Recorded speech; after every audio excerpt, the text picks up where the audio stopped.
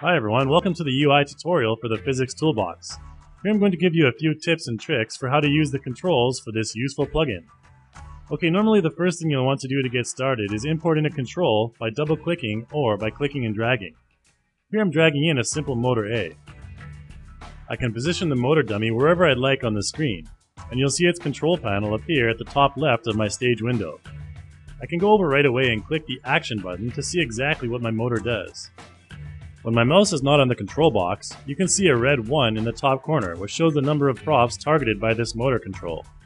Currently there's only one, and its name is displayed near the bottom of the control panel. If there's more than one, this will read multiple. If I click and drag on the edges of my control panel, I can open up more tiles, to which I can easily add other controls by double clicking. Once I do that, I can choose between basic L1 controls and L2 structures, which are basically machines made up of a number of L1 controls combined together. For now, I'll just go back to my first tile and double click on it to bring up the advanced options for that control. There's a select button here, as well as a deselect one. If I click deselect, then click on my motor, you'll see that the selected number will go back down to zero, because there are currently no props under its control. Next, I'll choose the select button and then select my cube at the front. If I open the advanced options, I can select which axis I want my cube to rotate around. I'll choose the blue Z axis and press play to demonstrate. Next what I'll do is drag down on my control panel to open up another tile. I'm going to double click on this one and add in a shuttle control. Notice that when I open another control from dragging the tile UI, there is no dummy created, and therefore no prop selected yet. The shuttle control's advanced options are a little different as well. I'll quickly select the sphere as my target. Now, slider type controls like the shuttle go along the x-axis by default, so I'm going to move my cube to make way for my incoming sphere. Notice that when I select each prop now, its respective control panel will have a white border to indicate that this is the control panel associated with that prop. You can see when I press my action button that the sphere will begin to shuttle back and forth slowly, then faster when I increase the speed. I can go into the advanced options once again and reduce that range to see a faster back and forth. Okay, now I'm going to introduce you to the L2 structure controls. First thing I'm going to do here is import in an L2 structure, my tank tracks. You'll see a white control panel appear at the top left again. I'm going to want to import in an infinite plane to demonstrate these tracks, as they'll need to move along the ground. Once I do, I'll go up right away and press the action button you'll see that my tracks will jerkily move along. To get a smoother animation for tank tracks and other physics, make sure your playback is set to frame by frame. You can see the big difference when I turn that on. Since my tank tracks are a simple motion structure, they don't really have any advanced features other than select and deselect. So we'll move on to our next one. I'm going to import in my excavator structure here, and you'll see that it's pretty big. If I want to resize the size of my structures for any reason, I can do that just like any other prop.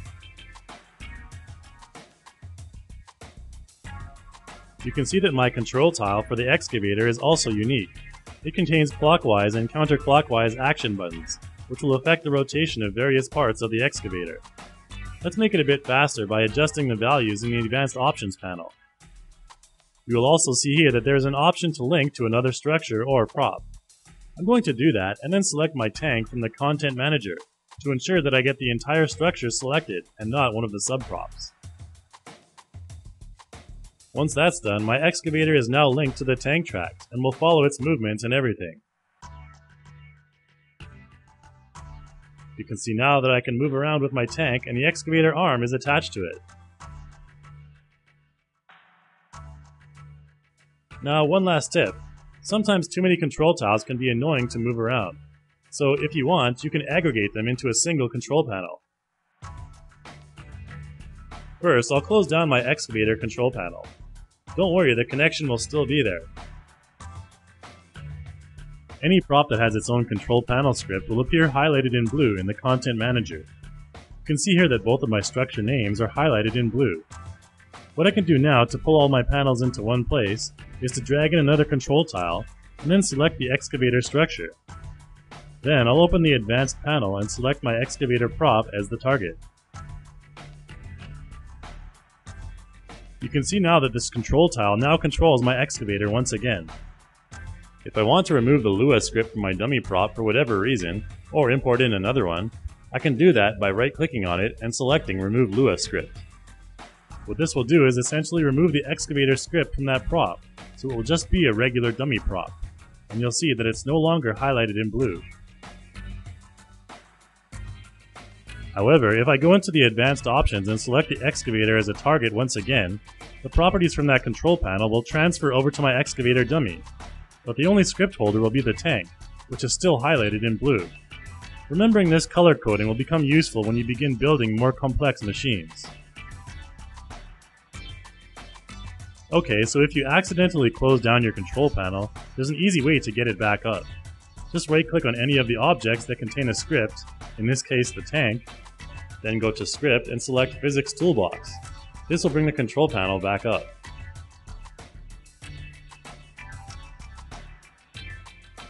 However, because I removed the script from my excavator, when I try to do the same thing with that prop, nothing will happen.